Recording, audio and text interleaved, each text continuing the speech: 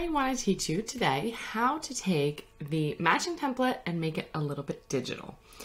Um, it's intended for print, right? It's intended to, this is an example of what I've created with it so they can manipulate the pieces. But I know sometimes we don't have time to print, laminate, and do all the things. So I'm going to show you one way to make this resource digital. I'm going to go to the page where it has all of the pieces. I'm going to go ahead and I'm going to take my mouse. I'm just going to highlight all the pieces just like that so that they are all highlighted. I'm using my keyboard to press control copy. I'm going to go to file, open a new document, a blank presentation. And now I have blank presentation where I want the slide size to go from widescreen to standard size. So I went to design, slide size, and then I'm gonna do standard. Um, so it just pulls it in a little bit.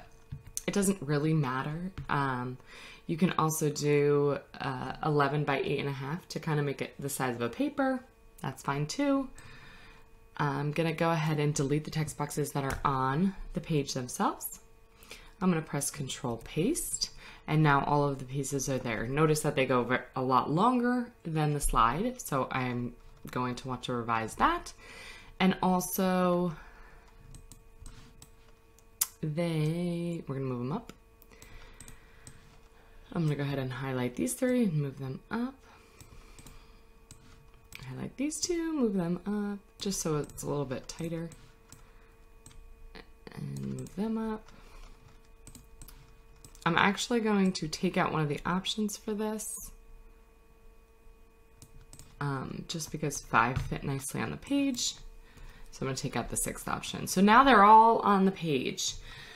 I am going to go ahead and speed through this. I'm going to type in my um, different equations. So I'll show you how to do one. Um, I have my text highlighted. I'm going to insert an equation. And then I'm going to take the equations from this one. Just because I've done them already. Um, doo -doo -doo. Okay, so when I'm typing the equation, I inserted right here, and then I clicked equation. And now I just go ahead and type the equation. Close um, I'm going to go back to equation, the equation editor, because that has the division sign right here. I might make it bigger or make the text smaller, either one. And then my answer's over here. All right, now that I've filled all of the pieces in, we're ready to get started on making the actual digital resource. Um, for this, I might want directions at the top of the page, or you can always put directions off to the side of the page if it is a digital resource, because they are going to have the slide and the side of the page. I tend to use the side of the page for directions or for my own purposes like this.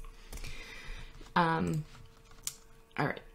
So if you need to make these smaller, if you want directions at the top of the page, I went ahead and highlighted all of them just by using my mouse and drag. I'm going to press shift and then I'm going to move them down. So that just shrinks them down a little bit and then you can adjust the um, pieces if you need to. And that way you have room at the top of the page if you need it. Okay. Now I want the pieces to be separated um, because right here, this is the answer key, right? So all of these equations, this, this is their answer. So I'm going to duplicate the slide. I'm going to keep the answer key for myself. And I'm going to then Actually, I'm going to duplicate the slide twice just to show you. Okay, so I right clicked on the side here where the thumbnails are and I clicked duplicate slide. You could also use control D, which also would duplicate the slide on the side as well. For this slide, I'm going to delete, um, actually first I'm gonna ungroup anything that's grouped at the moment. So I'm gonna go highlight them, I'm gonna right click, group, ungroup. I want to make sure all these pieces are separated at this point. I want to make the base piece, so I'm going to take all of the right hand side pieces and I'm going to delete them. remember you have them on another slide, so make sure you duplicate the slide before you delete them. Um, and this one seems to be grouped still, so I'm gonna right click, group, ungroup, and delete that slide. So now this is your base. This is the, the slide um, picture directions. So I would insert a text box up here and I would say add directions up here. All right. You can make them bigger, make them smaller. You can insert arrows if you want to have um, pointing to one of the sides of the directions. Okay, then we're gonna we're gonna take this one and then we're gonna make a picture. So we're gonna use this as our base after we've added our directions onto it. So I'm gonna go to File, Save As, and you're gonna pick someplace on your desktop. Um, okay, and I'm gonna say um, matching order of operations, slide one, just to show me that that's the slide that um, I am using as my base. I'm going to change the file type uh, to PNG and I'm going to save it. And I'm going to say just this one because I only want the first slide saved. Now I'm going to insert a new slide, delete all that. Then I'm going to go to design, format background. So design, format background. I want a picture background. I want to insert from a file. And here is the matching template right here. Okay, so now what I did there is I saved it as a picture so the students can't edit this page at all. So these pieces are stuck there, okay? So now really I'm done with this slide, unless you want to save it to edit later. All right, now I want to work with these pieces. I'm going to go ahead and make sure this one was grouped still. So I'm going to right click, ungroup. All right. I'm going to delete this half of the, because we've already worked with it, right? The first half, the equation part of it. So I'm going to delete it. Well, this one's still grouped. So right click, ungroup and delete that one. Okay, and then these pieces I want saved as pictures as well so the students can't edit them. Um, if you want the students to edit them, then that's a different way to make a digital resource.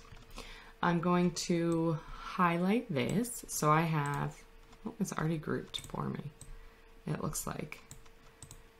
You want to make sure that the two pieces are grouped together so what you when you save them, they are they save as one unit. So I'm going to highlight that one. I'm going to right click. Actually, I'm just going to press my uh, use my keyboard. You can right click and copy, or you can use your keyboard and press Control Copy. Now I'm going to go to my picture ones. This is the final one, and I'm going to right click on my mouse, and I'm going to save it, paste it as a picture right here. Paste it as a picture. Now they can't edit that eight anymore. It's saved as a picture. It's one unit. It's movable piece, and they can um, align them that way. So I'm to put it over here.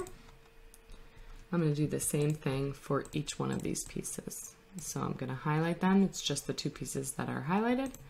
I'm going to right click. I'm to group. I'm to control C, control, and then I'm to paste it as a picture. I'm going to mix up the pieces so that they um, are going to have to rearrange them. Do the same thing for 10, control C, paste, and then go to here, 9, um, group, control C, paste, I'll rearrange them in a minute, 7, group, control C, and paste. Okay, and now I'm just going to rearrange them. You can add the directions as needed. Um, you can align them. So right now they are pretty aligned, but I want to make sure that they're pretty, uh, they're exactly aligned. So I'm going to highlight this whole side. I'm going to arrange, align, and then I'm going to distribute vertically. So that way they're spread out. Looks like they um, might have a bottom piece. but that's okay. All right, that's how you make a digital resource. So now the, these pieces are movable for the students to move. These pieces are not movable because it's a picture background. Uh, I think that is all. You can upload this if you save it as a PowerPoint file. Uh, you're going to want to delete all of these pages for the students, otherwise they can see your see your work, um, and they're just going to need this page. Um, you can save it as a PowerPoint, and you can also upload that PowerPoint and save it to Google Slides. It will work there as well. I hope you enjoy this digital resource.